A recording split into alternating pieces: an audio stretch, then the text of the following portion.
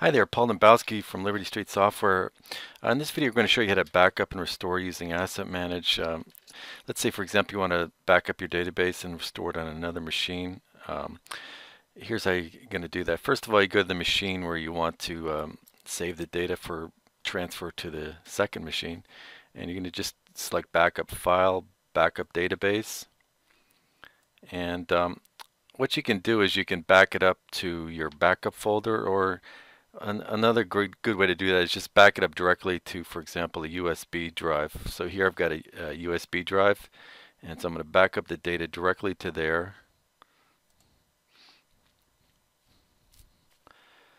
And what's doing is taking the asset managed database and all the any uh, images you may have attached to the to your inventory and it's packaging it up in a zip file.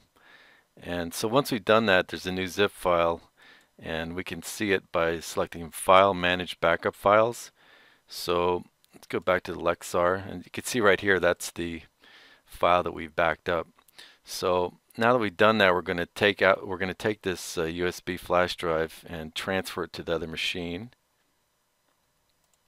Okay, so I paused the video there to um, simulate a, a transferring to a, a second machine. So Okay, so now we're on the uh, second machine, and what we're going to do now is um, uh, uh, restore the data that we previously um, uh, backed up to the USB flash drive. So the way to do that is you're going to select File, Restore, and first thing it's going to do is back up your data just to be 100% sure because um, when you restore the data, it's going to overwrite what's there right now. So it's good. Uh, it's very uh, good idea to have a backup of this. Uh, even though we have nothing here, it's um, still going to do it anyway. So I'm going to click Yes. And now after it's done that, it's asking you where's the backup file that you uh, want to restore. And it's going to show all the zip files. So we had that And we have that right here. You click OK.